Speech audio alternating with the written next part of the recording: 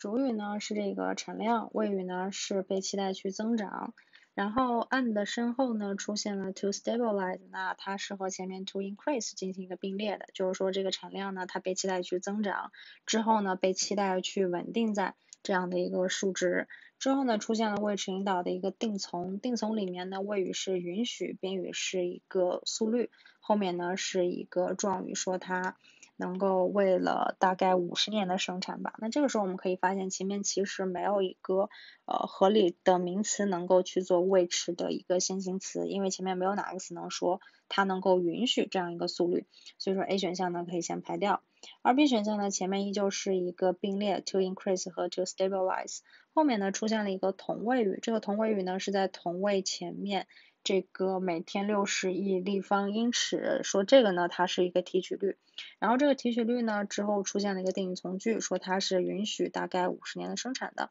这个没有什么问题，可以先留一留。三 C 选项当中呢，and 身后出现了一个 stabilizing 这样一个 doing，但往前找的是没有可以合理并列的对象，我们排掉。C D 选项当中呢，这个时候它的句间关系发生了一个改变，在二 B 选项当中呢，increase 和 stabilize 是一个并列的关系。也就是说地位平等，那四 D 选项呢，它变成了一个伴随状语。我们知道伴随状语的使用呢，要满足两个条件，第一呢，它要有逻辑关系，第二呢，要几乎同时发生。那在这儿呢，首先它增长和 stabilize 之间其实没有一个主次或者说主从的这么一个关系啊。那第二点呢，它也不是几乎同时发生，因为它肯定是需要先增长，然后才能稳定下来。所以说四 D 呢，这个局间关系有问题，五也是同样的问题。最后答案呢就是二 B 选项。